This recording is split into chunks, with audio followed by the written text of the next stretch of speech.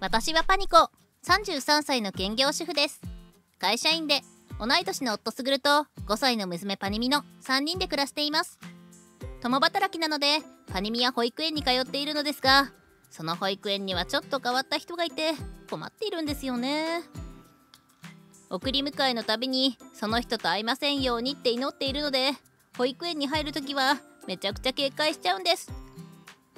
右よーし左よーし前方後方 OK いざ出陣だあーその人がいないことを確認して保育園に娘と一緒に入りました。よーし今日はセーフだなそうだお渡ししなきゃいけないものがあったんだ。少々お待ちいただけます？ああはい。あいつが来ませんように来ませんように。ママ脳は否定を認識できないって知ってる？え？あいつと会いませんようにって神頼みしても脳は会いたくないを認識することができないからあいつを呼び寄せてしまうんだって。だからね考えれば考えるほど。おはようございます。えー、背後から声をかけられてびっくり。あいつがやってくるんだよ。本当だ。えー、何の話？アイスというのはまさにこの人かりんさんです。なんでもない。みおちゃんおはよう。おはようパニミちゃん。昨日仕入れた小話があるからみおちゃんにも聞かせてあげる。はーい。小話って？ママにさっき話したお話だよためになったでしょ？確かに。それじゃあママお仕事ファイティン？ファイティン！子供たちは無邪気にお部屋に入っていきました。残されたのは私とかりんさんだけ。パニコさん今日の私のファッションどう？うんどうと言われましてもストレートに言わせてもらえば保育園にそんなもん着てくんじゃないよと言いたいけど。あここ個性的ですね。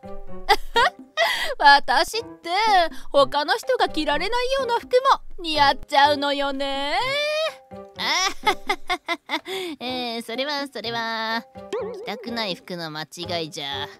ほら私って子持ちには見えないじゃないそそうですね。あ孫持ちにすら見えますけど。ねえねえぶっちゃけ。私って何歳に見える？えあああの正直に言ってちょうだい。えええええっとえっとああねにににに20歳とかかな？ああそうでしょそうでしょ。ねえパニコさんは老け顔で大変でしょ？え？いい今今ディスられた？老け顔なママなんて自慢できないわよね。パニミちゃんなんだかかわいそう。完全にディスってやがる。いっけない。お仕事遅刻しちゃう。やばいじゃん。それじゃまたね。二度と会いたくないわ。お分かりいただけたと思うけれど保育園の困った人というのはこのかりんさんなんですかりんさんは何をどうしたらそんな風になっちゃったのかわからないけれど自分のことを20代に見えると壮大な勘違いをしているんです。自己完結で勘違いしているなら害はないけれど会うたびに自信満々で年齢を聞いてくるから痛々しい。実際の年齢はわからないけれど私よりも年上に見えるからいつも返答に困っちゃうんですよね、しかも保育園に不似合いな過激な格好で近づいてくるから目のやり場にも困っちゃいます。数日後最近かりんさんに遭遇することがなかった私は安心していました。保育園にお迎えに行った後パニミと一緒にお買い物をして帰ることに。レジに並ぶとレジ担当の店員さんにおかしなことを聞かれたんですん？ちょっとあなたお酒はたとえお使いでも未成年は購入できないこと知らないの？え？あ知ってますけど。それじゃあこのお酒はお嬢ちゃんには売れないってこともわかるわよね。え？あなた高校生？中学生？小さな妹を連れてお酒なんて買っちゃダメよ。もしかしてこの人私のこと未成年だと思ってる？周りのお客さんにも注目されて恥ずかしい。娘が生まれる前は未成年に間違えられることもあったけれど子連れで間違えられるなんて初めてなんですけど。おばちゃんママはこう見えて33歳なんだよ。33歳？ママ？免許証。いいつの間に？パニミから私の免許証を受け取った店員さんは免許証と私を交互に見てあら結構言ってらっしゃるのね。悪かったな。ごめんなさいね。パニミのおかげで誤解は解けたけれどこの年でお酒買って怒られるなんて思わなかった。低身長とはいえ私そんなに子供っぽいのかな。ちょんぼりとしながらスーパーを出ると追い打ちをかけるかのようにあいつが声をかけてきましたパニコさん。ゲー相変わらずすごい格好のかりんさん。やだ暗い顔しちゃって老け顔がもっと老けて見えちゃうぞ。うるせえバラ。ねえねえ聞いて。さっき20代の男の子に声かけられちゃったの。子供を保育園に迎えに行かなきゃならないからごめんねって言ったらびっくりしてたわ私ってやっぱり子持ちには見えないみたい。やっぱり私若く見られちゃうのよね。何歳に見えていたのかな。10代とか。パニコさんと歩いてたら私たち親子に見られちゃうかも。私たち同い年の子供がいるのにね。信じらんないよね。おばちゃんすごいね。え？ほんとその年で保育園に通う子供がいるなんて思えないよそうでしょそうでしょ。みおちゃんが初めての子供なんだよね。そうよ。へえ50代でういさん？え？みおちゃんはパニミと同じ5歳ってことは5年前に産んだんだよね。おばちゃんもうすぐ還暦迎えそうな感じだから50代前半くらいに産んだことになるよね。超高齢出産お疲れ様でした。じゃあじゃち違う。わ私のどこが50代に見えるってのよそれは目尻のシワに首のシワにほうれい線それから乾燥しまくりの肌に浮きまくったファンデーション。でも年を重ねることが悪いわけじゃないのよ。年を重ねても人間的魅力を増していけないことがいけないの。おばさんみたいにね。私は若いのよ。どこからどう見ても20代にしか見えないじゃないの。おばちゃんかわいそう。家に鏡ないの？な鏡は一つくらい家にあった方がいいよ。自分の外見を見つめ直すことで内面も見直すことができるかもしれないし。か鏡なら持ってるわよ。メイクだってしてるんだから当たり前でしょ。鏡見てその出来上がりなの？本当に？おばちゃんは本当に？その仕上がりで世に出て社会の一員として紛れても許されると思っているの？わ私は可愛いじゃないの。この顔とスタイルで若々しいってみんなに言われるんだから。若々しいって。例えば高校生に若々しいなんて言わないでしょ。みんな大人だから本当のこと言わないのよ。オブラートに包んで若々しいですねなんて苦笑いで逃げてんのにそれを真に受けちゃうなんてある意味幸せだね。あち違う違うもん。違いませんさあ今こそ現実を見るのよ。現実を受け入れて自分の年齢と向き合うのだ。私はどう見ても20代にしか見えないじゃないのよ。どう見ても50代ですけど。はあ？おばちゃんに必要なのは鏡じゃなくてメガネだったみたい。本当に自分のことを20代と同じに見えているなら今すぐメガネ買うべきだよ。視力が相当下がっているみたいだから私の視力は確かよ。そうか。私が若くて美人なママだからって。ひがんでるんでしょあんたなんて年相応にしか見られない。子育てに疲れたおばさんそのものじゃないの。ママはスーパーの店員さんに未成年だって思われてお酒は売れませんってマジ切れされてたんだよ。パパニミその話は。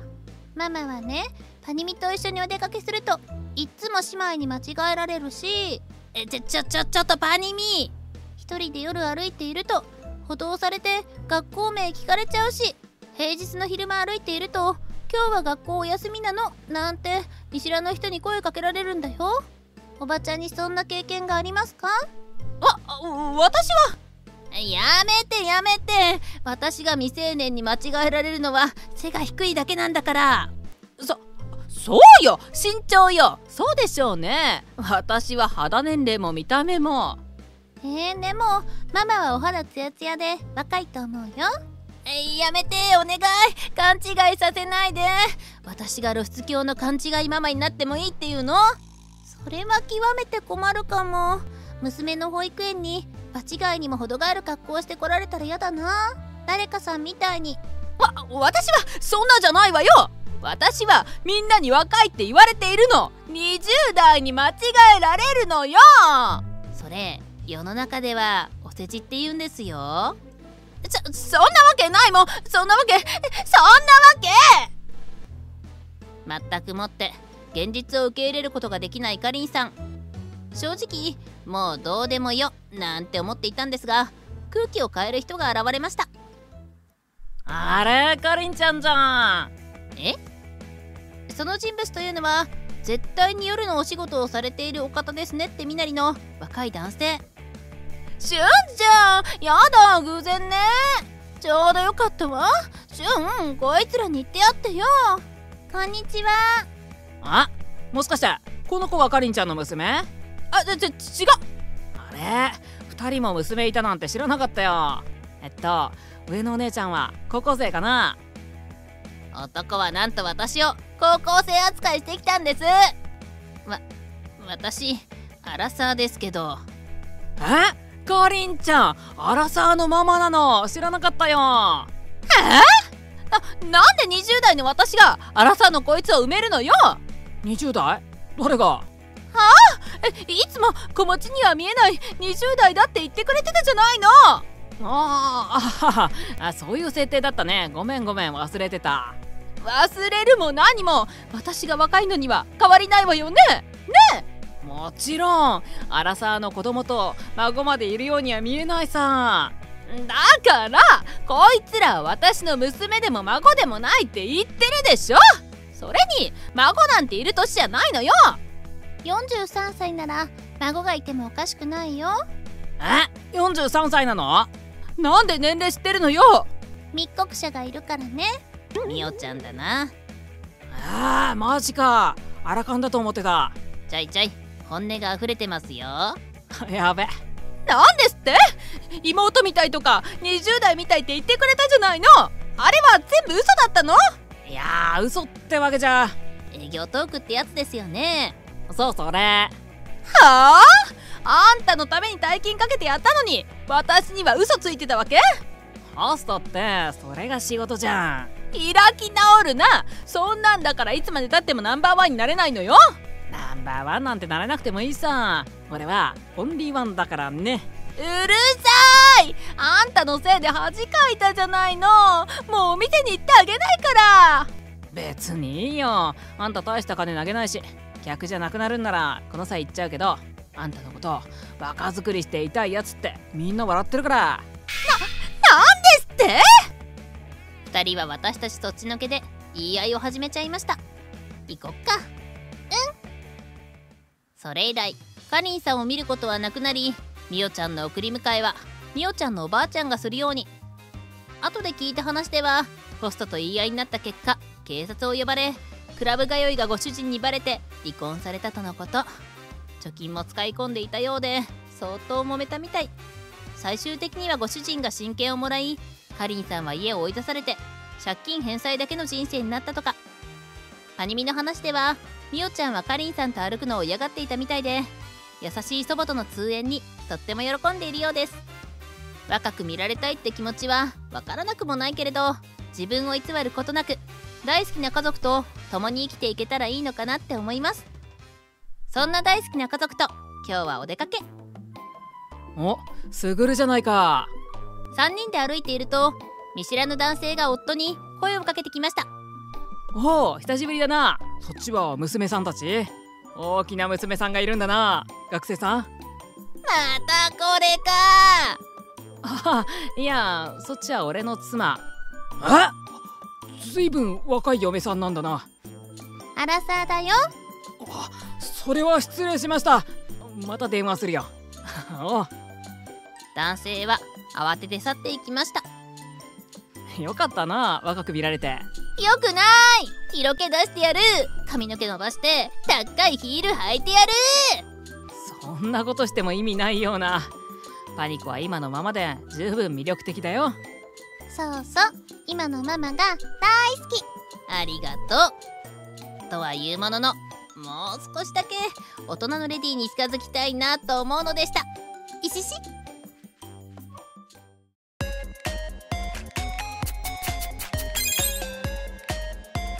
ご視聴ありがとうございます。次はどんな変わったパニックさんが出てくるんでしょうか。お楽しみください。